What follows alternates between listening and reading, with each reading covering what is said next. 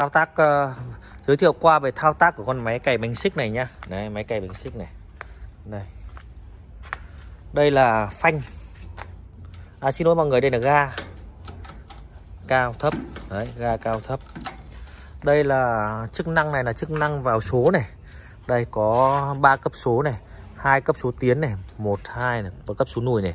Đây cấp số 1 thì là tiến chậm hơn cấp số 2 là nhanh hơn này. Đó đây là khóa để nổ này. Cái chức năng này nữa là có một chức năng là ngắt mát này. Là khi không sử dụng nữa chúng ta có thể là ngắt mát đi thì nó đỡ tốn bình ắc quy này. À, đây là cần tích hợp này. Cần này này có chức năng là chuyển hướng trái chuyển hướng phải này. À, và cái nên hạ của nó này nên hạ bằng thủy lực này hai bên này. Đấy. còn uh, chức năng này là chức năng của uh, số nhanh và số chậm này. Đó. đó. Đây là đèn đèn. Có 3 đèn nhá. Hai đèn trước và một đèn sau. Này. Đấy. bây giờ mình sẽ sử dụng cái thao tác uh, uh, cho các bạn thấy nhá. Là thao tác là, là là bắt đầu chuyển động nhá. Đây. Chúng ta rất đơn giản thôi. Chúng ta này mở mát lên này. Đây là tắt mát này. Còn bây giờ chúng ta mở mát lên này. Sau là chúng ta ga nhẹ lên một chút này. Ok. Ga nhẹ lên. Sau đấy là chúng ta là để mở khóa đề bình thường thôi. Con này rất đơn giản, không cần gì cả. Đấy.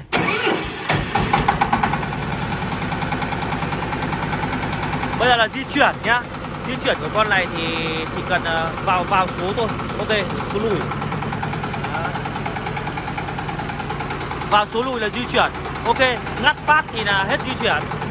Đấy. Đây, vào số tiến. Đấy. Vào số tiến.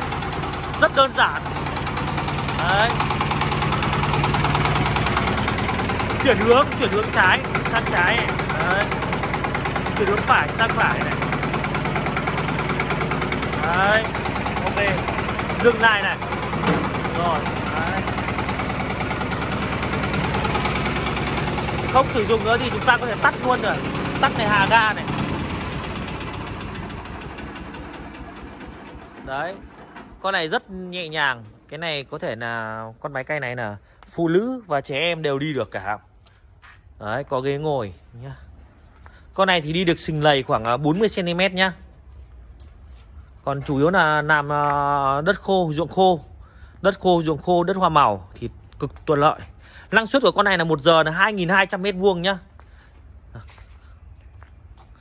Đấy, dàn phay to, khỏe chắc chắn này. Đấy, không như các dàn phay khác này à, dàn phay này là chế tạo ra đặc biệt để cho riêng về dòng máy này từ xi nanh thủy lực này các thứ này làm đều rất là ok khỏe chắc nhá.